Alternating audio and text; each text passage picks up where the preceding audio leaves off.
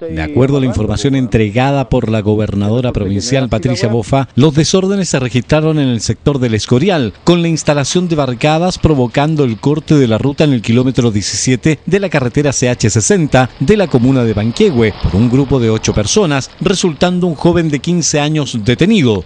Un grupo de 20 personas protagonizó disturbios con carabineros en la villa 250 años de la comuna de San Felipe, resultando tres efectivos policiales lesionados. A la altura de Encón, un grupo de 15 personas realizó el corte del camino con barricadas. A esto se suma el corte del camino de la ruta E71 que une San Felipe con Putaendo a la altura de las Coimas por parte de 25 manifestantes. En el sector 21 de mayo, 15 personas protagonizaron un corte del camino y finalmente 20 instalaron barricadas en el kilómetro 35 de la carretera CH60. Básicamente con barricadas fueron eh, actos a, eh, delincuenciales de grupos de jóvenes, hay un detenido. Estas no son manifestaciones de partidos políticos, lo entendemos muy bien.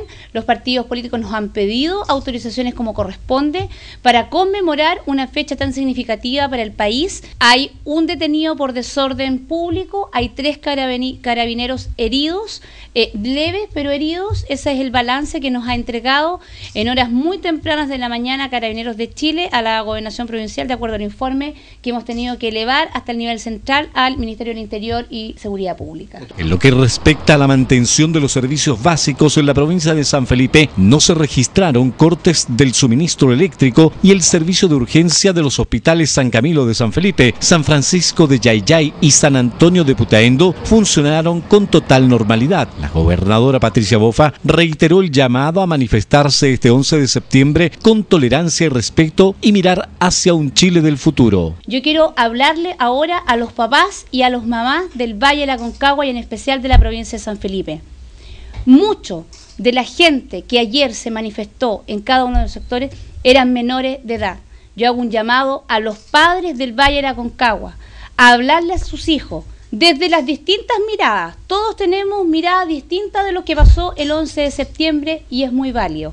Pero no le traspasemos a nuestros hijos el odio, caminemos hacia un país unido, este es el minuto de mirar adelante, ya han pasado 40 años, miremos los 40 años del futuro que esperamos que nuestro país viva unido. Uno de los incidentes más graves se registró en la Villa 250 años, donde los manifestantes se habían reorganizado y estaban intentando ingresar a la empresa Cabrini y los hornos Frigán. Personal uniformado actuaba para dispersar a los manifestantes cuando un conductor de un automóvil que estaba estacionado en el lugar emprendió la marcha a toda velocidad, atropellando a tres efectivos, una funcionaria de Calera y dos carabineros de Guillota que estaban agregados al servicio por este 11 de septiembre en San Felipe. Así lo señaló el capitán Alfredo Castillo, donde, frente a lo cual, el dispositivo policial hizo uso de las bombas lacrimógenas para dispersar a los manifestantes que habían instalado barricadas en distintos sectores de la villa. Uno de los antisociales habría atacado en contra del grupo de, carabineros que está eh, tratando de restablecer el orden, siendo embestidos por un vehículo, el cual habría atropellado a los, a al grupo de carabineros, eh, quedando tres de ellos con lesiones leves, eh, afortunadamente.